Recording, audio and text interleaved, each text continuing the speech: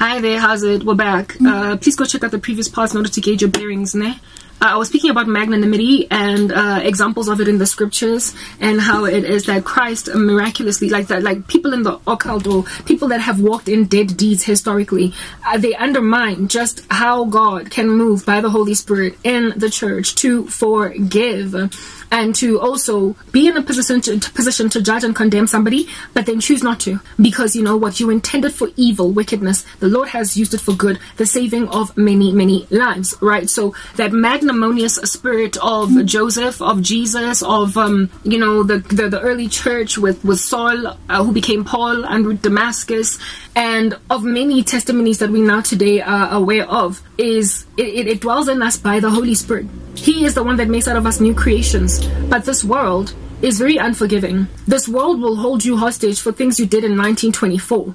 And abazo about it. Bazo remind. This is what you did on the 4th of August, 1924. You know what I'm saying? You know what I'm saying? So because people in this world, because, okay, because narrow is the road that leads to life that few people find. And so therefore there are very few people who are truly, truly, um, magnanimous the majority of the world is what it is that most of us sort of kind of you know touch base with. We encounter all throughout our walk prior to coming to christ. So our experience of the earth is one uh, where uh, is one of people that are very very unforgiving. They hold grudges. They don't hold nothing back to let you know just how, what a nasty you be all right? They don't do anything of that nature. And no matter how many i remember before i came to christ when a person would say sorry to me when my wounds were still very fresh i would ngapela them i would ngapela them. That is something that christ changed. He flipped me made out of me a new creation. Do you understand? So because of experience memories of unforgiveness like people that also also re jwanong motho a teng e na go ka quiff current ha di kene. A ka change because of that memory because you know people who come into Christ obviously come from the world. They are scared witches especially. They are very very nervous uh, to embrace Christ and come out in testimony the bible says that we must confess our sins to one another that we might be healed and that we overcome the devil by the blood of the lamb and the word of our testimony. So confession is healing. It is extremely healing. It sets people free guys. It gives abantu a second chance. Do you understand what i'm saying? Uh, however there is a great undermining of the power of confession especially in new believers because of their historical um, memories of how the world is. Do you understand what I'm saying? They know lefatshe le hold a grudge. And so for those reasons they think ukuthi yo if I told them that I sacrificed my sister's two kids, if I told them that I used to change myself into a rodent and then enter into a house and still if only these people knew mm,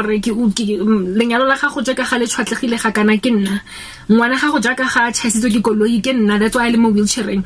Just the prospect of coming out with that. Yo they are like mina bazofuna ukungistona they are gonna want to stone me and indeed there will be people pharisaical who will try to cast a stone. But if you are truly indwelt by the holy spirit you will always be embraced by heaven's conglomerate. The church of christ on earth is a miraculous body walking around we are a powerful mighty very phenomenal like mysterious bunch of folk we are we are strangely magnanimous in the sense that literally it's water under the bridge it's you know nicodemus upon asking christ what one needs to do to get born again saved the lord says you must be born again uh, and the, he then goes on to just explain what a, the, the the new birth is unseen. It's like you know the wind blowing, and you see the effects of the wind because you know the leaves are moving on a tree, but and you know it's there.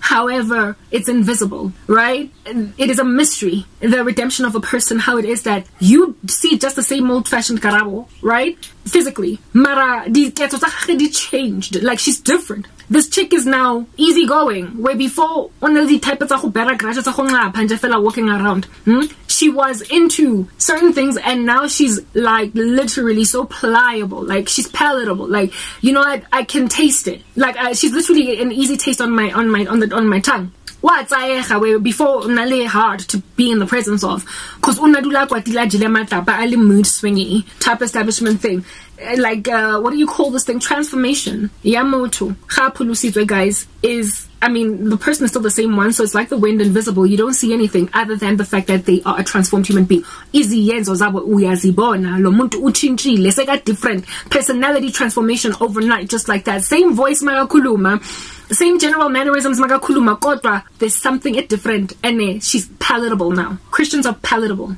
We are pliable and receptive to sorry re we are pacified. Nkare dami ya soothed by apologies the Bible says, forgive 70 times, seven times. He does not only prescribe that that be a thing, but he actually makes it possible.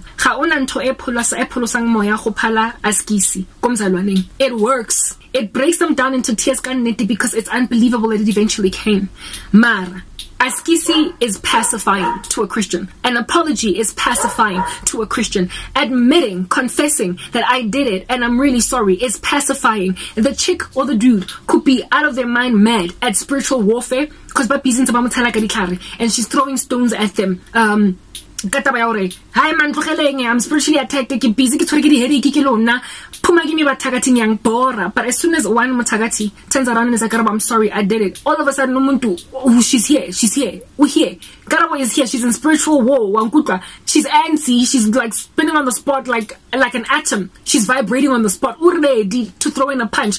And then somebody's like Karawaskis it's like yo joe it takes your hands down an apology is pacifying, I would know that because all throughout the years, my family members on and off, on and off, light switch, on and off, on and off, mood swings, on and off, on and off. And during the times when they're off, gihe, gihe, gihe, I'm ready to throw in you know, a, a fast one, a punch, offend. Do you know what I mean? And then next thing Moto comes back and not so much, they've never apologized to me, Gamanzui. They've never admitted, right? Their deeds change in the sense that the person goes from being hostile towards me, treating me like trash, and I'm all passive aggressive to I'm um, defensive from their direction. And then they walk in, hi Karabo, how are you Nasha? Eh, I got you this top. What do you think of it? And I thought that you might like it. And I'm like, but yesterday you were busy yelling at me. But the day before, it pacifies me. Despite the fact that I know they are mood swingy, they will literally keep doing this, pen like me, yo-yoing me. I've been begging God to take me out of this environment because of that. It's patronizing. It is so easy for me. Oh,